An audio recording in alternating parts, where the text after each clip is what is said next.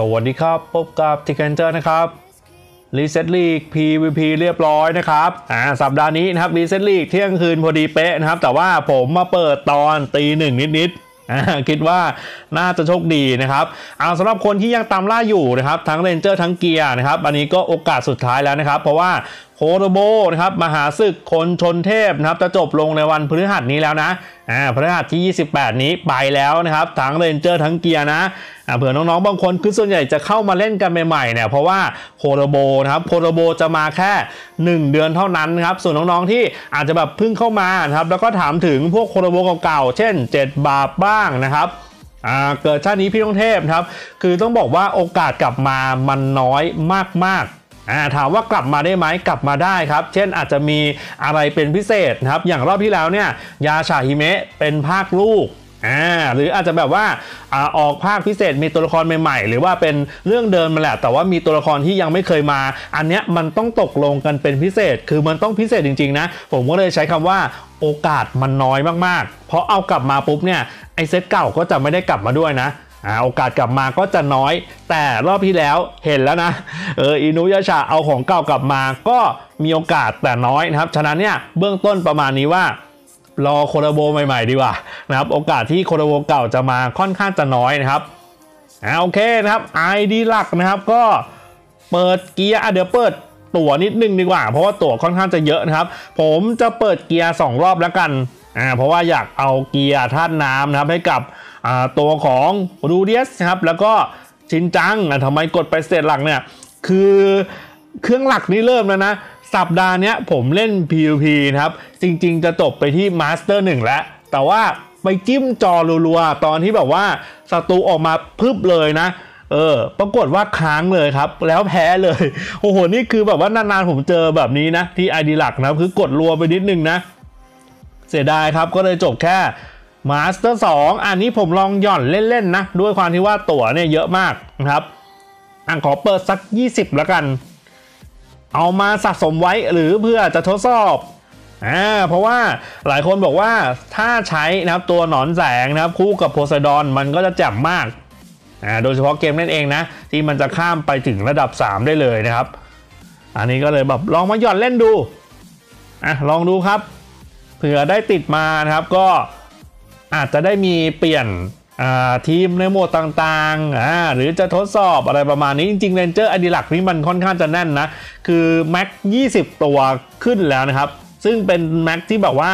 ใช้งานได้จริงใน PVP ไม่นับพวกตัวโคโดโบแจกฟรีนะครับ หรือตัวแบบตัวเกมแจกฟรีอะไรพวกนี้ผมไม่นับนะ พวกแม็กที่แบบ 20 ตัวขึ้นเลยนะครับฉะนั้นก็โหนี่มาเยอะเลยนะ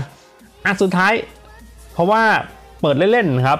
เผื่อได้มาอะไม่ได้มาก็ไม่เป็นไรนะครับเพราะว่าถือว่าเอาจริง ๆ นะ รอบนี้ตัวเรนเจอร์เนี่ยถามว่าเก่งไหมเก่งในระดับทั่วๆไป ด้วยความที่ว่ามันไม่ได้มีคอมโบอะไรเป็นพิเศษอ่าฉะนั้นเนี่ยผมก็จะไม่ได้ถึงขั้นตามหา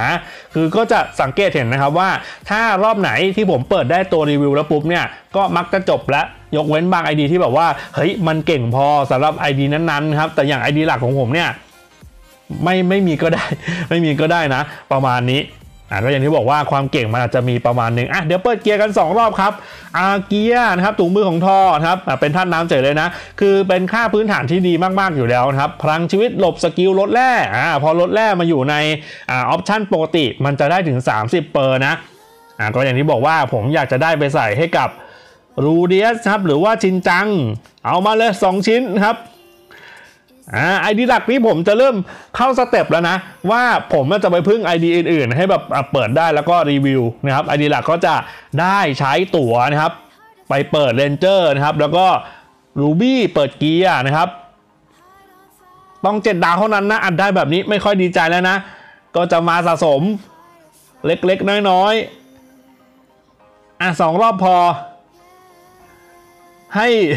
ให้รู้สึกหัวร้อน ให้รู้สึกหัวอุ่นเล่นๆอะไม่เป็นไรคือเราต้องทำใจอยู่แล้วนะครับ คืออันนี้ต้องบอกตรงๆนะ เพราะว่ามีคนมาบอกว่า เฮ้ยทำไมแบบเปิดเกียร์แบบหลายพันรูบี้นะครับ แล้วแบบบางคนไม่ได้เลย ไปได้แบบการันตีนะครับ หรือว่าบางคนอาจจะแบบได้ชิ้นเดียวนะครับ บางคนก็บ่นว่าถามว่ามันคืออะไรนะครับ มันคือความเกลือไง เออ ตามที่เห็นนะ ผมถึงบอกว่าผมไม่ค่อยจะเปิดเกียร์สักเท่าไหร่นะครับ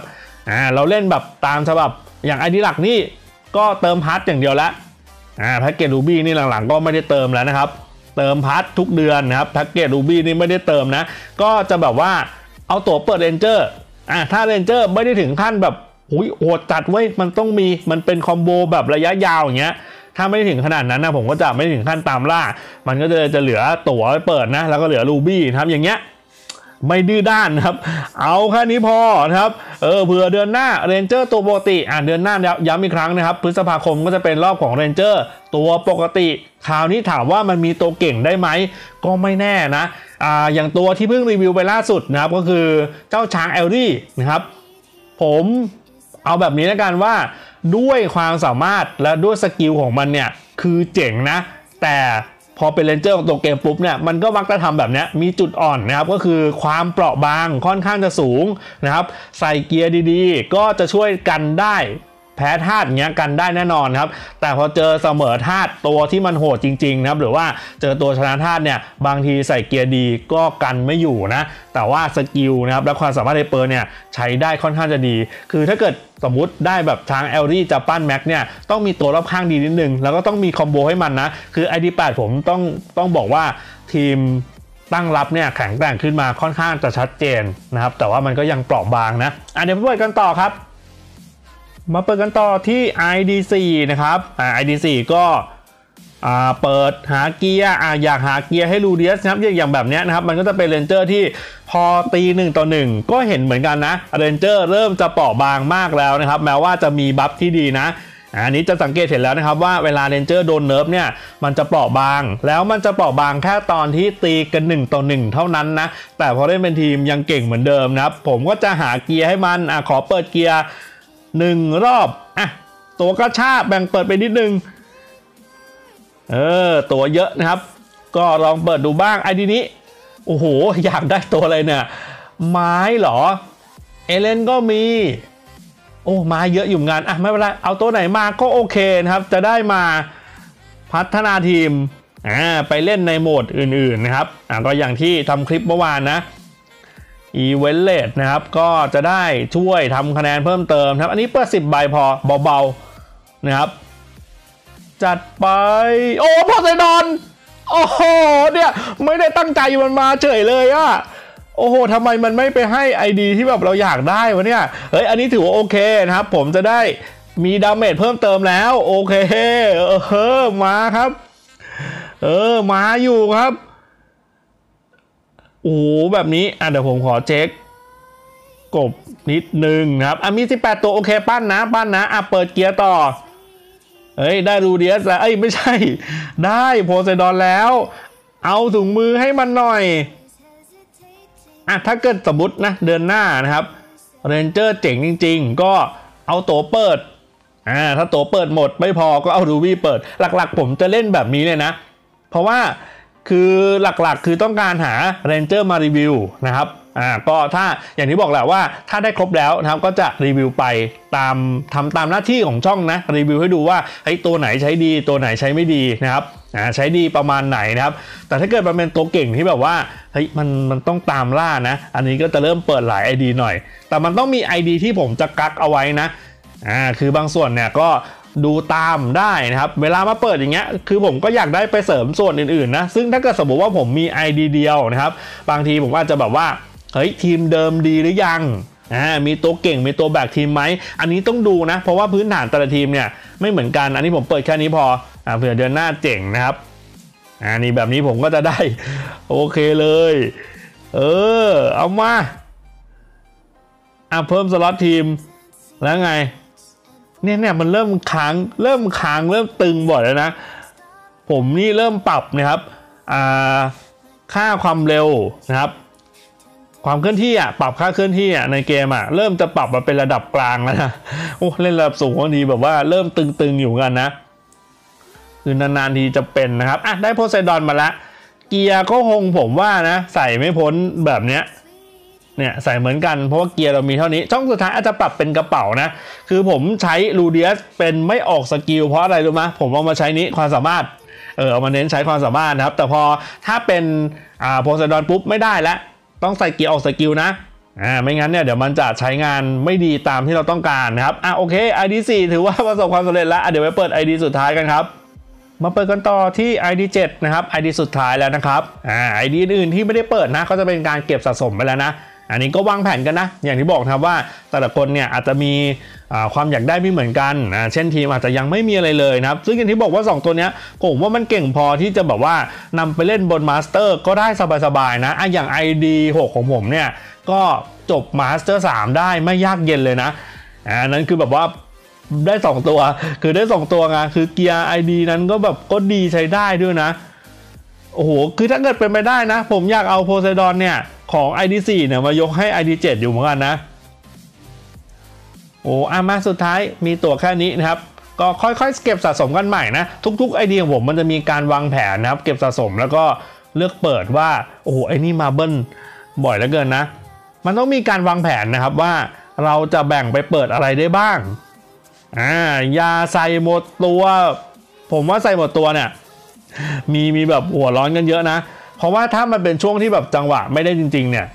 ใส่หมดเลยมันก็โอกาสได้ก็ยากนะ ฉะนั้นผมก็จะแบบแบ่งแบ่งเปิดครับ เนี่ยผมก็แบบแบ่งเปิดบ้างนะครับ คือไม่ได้ก็มันก็ต่างกันอะจริงนะเปิดเกียร์แบบย่างจริงครับ เปิดเรนเจอร์ตามที่เห็นนะ ตามที่เห็นนะครับว่าผมเนี่ยพื้นฐานครับจะเน้นเปิดหา ranger เป็นหลัก เพราะว่าถ้า ranger มันเก่งจริงๆอะแล้วยิ่งแบบว่าสมมติเป็น ranger ใช้แร่ก็ไม่เยอะตำแหน่งยืนก็ไกลอยู่แล้ว เกียร์มันก็จะใส่ได้ค่อนข้างจะง่าย ซึ่งเราเอาเกียร์ฟรีมาใส่ก็ได้ ranger มันก็จะมีความเก่งด้วยตัวของมันละนะครับมันก็จะเหนือกว่า ranger พวกตัวทั่ว ๆ ไปต่อให้เอาเอาจริงนะตัวที่มันแบบเป็นทั่วไปที่ไม่เก่งนะ ต้องเน้นย้ำนะว่าต้องเป็นตัวทั่วไปที่ไม่เก่งต่อให้เอาเกียร์เทพเทพเจ็ดดาวมาใส่เนี่ยมันก็ยกระดับได้แค่ประมาณหนึ่งซึ่งมันก็จะแพ้ ranger อยู่ดีนะครับผมก็เลยให้เน้นเปิดหา ranger ก่อน ส่วนเกียร์เนี่ยค่อยเป็นช่วงที่แบบว่า เฮ้ยเราโชคดีแล้วหรือว่าทีมดีแล้วก็จะเอา ruby เนี่ยแบ่งไปเปิดเกียร์บ้างอ่านี่เป็นหลักการของผมง่ายๆนะเอา ranger มาก่อนครับ แล้วค่อยตามด้วยเปิดเกียร์นะครับอ่าส่วนเกียร์ที่แบบเป็นเกียร์พื้นฐานที่ดีเนี่ยเดี๋ยวมันใกล้ๆ ค่อยไปว่ากัน เพราะเราไม่รู้ว่าสุดท้ายจะมาเหมือนเดิมไหม หรือว่าจะมีการยกเลิก หรือจะมีการปรับเปลี่ยนเป็นพิเศษก็คือคริสต์มาสมันก็คือทันวานนู่นเลยนะ โอ้น้องๆบางคนบอกว่าพี่ผมจะเก็บแล้วนะครับ มันไวเกินนะครับ นี่อย่างนี้เปิดไม่ได้ก็โอเคครับ เปิดไม่ได้ก็เล่นไปนะครับ คืออย่าง ID7 ของผมเนี่ย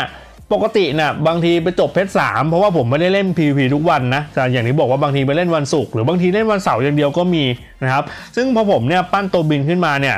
เออก็โอเค ไปจบเพชรสองได้ง่ายขึ้นนะถ้าเกิดเราจะดันจริงๆเนี่ยมันก็เพชรหนึ่งได้นะ แต่ด้วยความที่ว่าไอดีมีเยอะนะครับ PVP เล่นไม่ทันนะ ก็เลยแบบว่า อ่าก็จะมีการค่อยๆ ปั้นตัวแบบนี้อันอย่างน้องๆคือเอาจริงๆนะเกมนี้มันเป็นเกมที่ค่อนข้างจะต้องใช้เวลาเล่นนะครับ เปิดไม่ได้หากบสะสมเอาไว้ อ่าหากบสะสมเอาไว้นะครับ คือใครชอบโคโรโบก็ไปเปิดแต่รอบโคโรโบอย่างเดียวก็ได้ คือบางคนอาจจะไม่เน้นเก่งนะก็ไปเปิดโคโรโบอย่างเดียวนะครับ แล้วก็อย่างที่บอก step ก็คือใช้ตั๋วเปิด ranger นะครับ แล้วก็ ruby มาเปิดเกียร์นะ ถ้าบทมันจะมาเดี๋ยวมันมาเองเหมือนเมื่อกี้นะ ไม่ได้ตั้งใจจะเปิดเลยนะครับ แค่แบบเอาตั๋วย่อนเปิดนะ ที่ ID หลักเนี่ยอยากจะได้มากกว่าอยู่เหมือนกัน ID เจ็ดอยากจะได้มากกว่า ไม่ได้ ไม่ได้ไม่เป็นไร เพราะว่า ถ้าพื้นฐานเราเริ่มสร้างที่รอบ collabo มันจะมีตัว collabo ให้เราเล่นอยู่แล้วอ่าพอไม่ได้ปุ๊บไม่เป็นไรสะสมลุ้นใหม่สะสมลุ้นใหม่ แต่อย่างที่บอกว่าส่วนใหญ่จะซีเรียสกันเพราะว่ามันอาจจะเป็น collabo ที่เราชอบไงแล้วแบบเฮ้ยมันต้องได้โหแบบนี้ผมก็ทำอะไรไม่ได้จริงๆนะ ซึ่งครับมีคนมาบ่นผมก็งงว่า มาจากยุคไหนนะครับ ซึ่งปัจจุบันเนี่ยมันมีการเลือกแล้วเนี่ยเห็นป่ะมันจะมีหีบสุ่ม ranger กับหีบเลือก ranger แต่มันก็ต้องเปิดโอ้โหเปิดเท่าไหร่วะเนี่ยสามสิบรอบ เท่าไหร่9,000 ruby แบบเนี้ยไปถึงไหมล่ะผมว่ามันก็เหนื่อยอยู่เหมือนกันนะ กับการเลือกเรนเจอร์มาหนึ่งตัว แต่อย่างน้อยเนี่ยมันก็ อ่าคือมันก็จะมี step การันตี 3 รอบไงรอบแรกอะการันตีลุ้นว่าจะได้ตัวอะไร ซึ่งบางทีมันอาจจะได้ตัวกลางไงอะ step การันตีรอบที่ 2 อาจจะไม่ได้ตัวที่ต้องการก็มาเป็น step ที่ 3 เป็นหีบเลือกแล้วอะคราวนี้อยากได้ตัวอะไรก็เลือกเอานะ คือก็มีอยู่เหมือนกันนะ ที่จะเกลือได้ถึงขนาดนั้นนะครับดังนั้นเนี่ยผมถึงบอกว่าโอ้มันแล้วแต่จังหวะจริงอะบางคนแบบตั๋วฟรีอะไรอย่างเงี้ยเกมนี้ก็เลยจะมีคนแบบว่า คนคนบ่นเยอะ ประมาณว่าคนเลิกเล่นก็เยอะ แต่เดี๋ยวสักพักหนึ่งกลับมาเล่นใหม่ประมาณนั้นก็จะวนไปวนมานะ เกมมันเลยเปิดได้ค่อนข้างยาวครับ เพราะว่าเขาจะมีหาอะไรพิเศษอะเข้ามา ผมถึงบอกว่าทีมผู้พัฒนาเนี่ยเขาเก่งอยู่เหมือนกันนะในเรื่องของการทั้งดึงคนทั้งไล่คนเอาแบบนี้ดีกว่า เอาจริงๆนะ ทีมเนี่ยเก่งมากทั้งการดึงคนแล้วก็การไล่คนนะครับไล่คนออกจากเกมนะ อันนี้ก็แล้วแต่จังหวะแล้วแต่ดวงนะอย่างที่ผมบอกครับเล่นแบบสายฟรีมันก็อยู่รอดได้แหละจุดเริ่มต้นสำคัญนะครับ อาเกียร์ก็เช่นเดียวกันอ่าหีบเลือกเกียร์นะครับ ก็ต้องเปิดถึง 35 ครั้ง 7,000 รูบี้โอ้พูดแล้วเหนื่อยแทนนะอะก็ประมาณนี้แล้วกันนะอ่าโอเคครับ คนที่เข้ามาเล่นใหม่ๆก็ค่อยๆศึกษาจากคลิปนะครับ แนะนำว่าดูจากคลิปก่อนเข้ามาดูที่ช่องนะ t ีเคนเจอร์นะครับ กดดูที่วิดีโอแล้วก็ค่อยๆ ไล่ย้อนหลังไป เพราะว่าถ้ากดดูจากวิดีโอเนี่ยมันจะเป็นคลิปที่ไล่ลงมา อ่าหนึ่งวันสองวันสามวันสี่วันนะครับไปไล่ดูก่อนค่อยๆไล่ดูไปทีละนิด แต่ถ้าเกิดอยากรู้เรื่องอะไรพิเศษนะครับก็ไปดูที่ playlist ช่องอ่าเพราะว่าน้องๆเล่นกันใหม่ๆค่อนข้างเยอะคือทุกคลิปเนี่ยผมจะมีความรู้อยู่ในคลิปอยู่ตลอดเวลานะครับฉะนั้นเนี่ยก็ค่อยๆศึกษาคือเกมเนี้ย มันไม่ยากแต่ก็ไม่ง่ายนะ รายละเอียดเชิงลึกก็เริ่มจะเยอะขึ้นมากขึ้นเรื่อยๆเออเล่นแล้วก็เหนื่อย พูดก็เหนื่อยเช่นเดียวกันนะครับอะโอเค วันนี้ประมาณนี้ใครเปิดขอโชคดีนะ จริงๆ ผมยกมือไหว้ท่วมหัวขอให้ได้ คืออยากให้ได้กันจริงๆจะได้แบบเล่นกันสนุกสนุกๆอะมีตัวรักมีตัวชอบมีตัวเก่งนะครับ เราจะได้สนุกไปด้วยกันนะ จริง ๆ ก็ไม่อยากให้เกลือแหละ แต่ระบบเกมมันเป็นแบบนี้แหละ มันก็เป็นสิ่งที่เราต้องยอมรับมันให้ได้นะครับเอาวันนี้ประมาณนี้กันนะลาไปก่อนครับ สวัสดีครับ